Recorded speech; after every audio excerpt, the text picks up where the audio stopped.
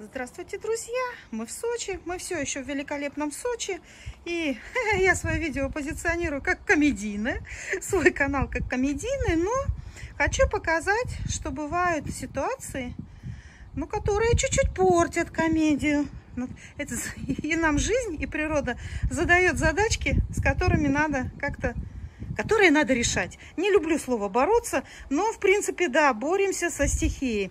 Потому что вот только недавно видео похвасталась, какую я замечательную сделала, вырастила сама своими ручками вот эту загородку, зеленую изгородь, да, и я считаю, что тот может называться настоящим садовником, кто вырастил настоящую живую изгородь. Это как в английских садах. И получилось, что ха-ха-ха, что-то надо с этим делать. В общем, рассказываю по порядку. А, здесь же, так, рассказываю по порядку. А природа нам вот задала такую штуку. Вот эта вот загородка, это еще от старых хозяев. И она все время была какая-то, ну, такая не совсем стабильная, скажем так. И поэтому я и садила эту изгородь, потому что я думала, что она закрепит землю и не даст дальше разрушаться. Не тут же было. Она, конечно, закрепила землю над этим, ну, в смысле, саму-то землю, верхний слой. Но нижний слой, он как был, он так и есть. И вот сейчас нужно будет бороться, что-то с этим делать. Э, какие работы делают в Сочи? Это вот, знаете, с э, экскаватором, я просто вижу по нашей улице, экскаватором сносят гору, потом какими-то машинами с цементом приезжают, ой, с бетоном приезжают, это все заливают. В общем, здесь это невозможно. Мы около дома, здесь лестница, машина не подъедет, рабочая техника никакая не подъедет. Нанимать кого-то, это вот, знаете, это вот, в принципе, это вот тоже весь этот ручной труд, его можно сделать самим. В общем, к чему я? Думали, думали мы, как это сделать эффективно, а, дешево и как-то а, ну, эффективно, да. Красиво. Красиво по техническому решению. И, ну, в общем, э, не придумали ничего, что как-то надо вот будет стесывать вот этот вот слой земли, землю лишнюю убирать. И с той стороны нужно будет выкладывать э, террасы. А, очень жалко, потому что это вот для этого нужно пересадить вот эту изгородь пересадить вот этот мандарин, но я его давно хотела пересадить в горшок. А самое важное, это вот виноград, он вот у меня вьется туда, вот на этот некрасивый вот, э, ну, некрасивый кусок балкона, а, и он у меня там все завивает, и только-только он два года как начал плодоносить, сорт хороший, а, кишмиш венгерский, это 351 или какие-то там цифры на 300, а, вот, э, и прямо вообще, прямо не знаю, как бы его бы тоже бы пересадить, но его, наверное, придется подрезать и как-то пересадить. О, я нашла ракурс, которого снять, с лестницы снимаю. Вот там вот, вот этот весь ужас, это надо убирать, склон скашивать, делать террасы и выкладывать камнями. Естественно, будем это мы делать. Даже вот моя изгородь уже стала вот туда внутрь заваливаться. Ну, что делать? Да, природа. И э, уезжая из Новосибирска, я думала, господи, наконец-то прекратятся эти вот перемерзания грунта. Замерз, оттаял, вспучивание, дорожки вспучиваются после зимы, прям постоянный ремонт. Думала, ну в Сочи можно расслабиться, ха-ха-ха. А здесь постоянно бежит вода. И вот э, у нас оползневые склоны. Почему здесь частный сектор? Это же центр Сочи. Вот я сейчас даже могу показать.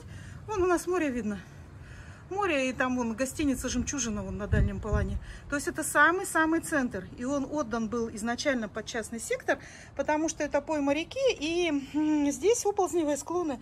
Вот они все оползневые склоны. И здесь бывают частые дома начинают съезжать со склона, если его как следует не заглубили. Ну, в общем, вот эта вся история. Жизнь в горах, она, конечно, живописная, но непростая, очень непростая выкапываю кусты. У меня их тут три.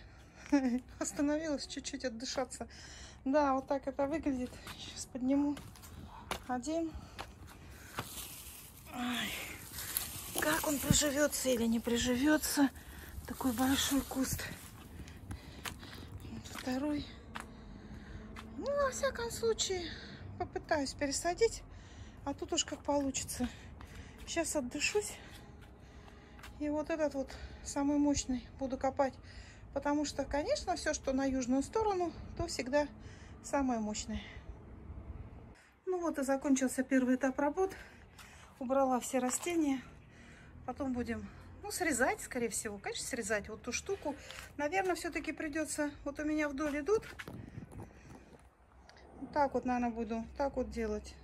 Да, вот так вот. Срезать эту всю землю. Тоже куда ее девать? Ну, в общем, камни таскать. А, склоняемся к габионам. Как их делать самим или еще что-то. В общем, не знаю. Пока что вот все прибрала. И чистый лист. Ха-ха-ха. А, так, э, что у меня здесь росли вот виноград. Пришлось его очень сильно обчекрыжить. Посадила его, и, кстати, вот у него пошел первый росток. Не знаю, приживется он или нет. Столб освободила. Жалко, конечно, потому что он, он у меня только два года как начал ну, плодоносить. В принципе, я его и черенки нарезала, но это опять там 100-500 миллионов лет ждать, когда начнет плодоносить. А этот, ну, попробовала. Не знаю, получится так получится. А дальше у меня был мандарин. Мандарин пересадила в горшок и поставила на веранду. Специально хочу вот в горшках, э, чтобы у меня цитрусовые были не только на открытом грунте, но и в горшках. Мандарин, у меня есть лимоны, надо и апельсин надо еще посадить. Это, знаете, как мой запас. Ну, что-то мы вот, например, прошлой зимой очень сильно разругались с мужем. Думаю, блин, перееду. А как я с собой? Мне нужны, чтобы вот взял с собой кустики, любимые, и увез, и любовался вместе с ними.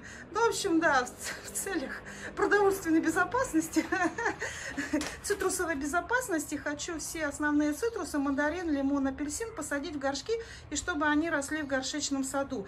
Ну, вроде бы удалось, а, он удалось. Вроде бы он такой живенький и даже пытается набрать цвет. Мне так кажется. А, ну, вообще, наверное, не надо ему этого давать делать. Вот, но он набирает цвет.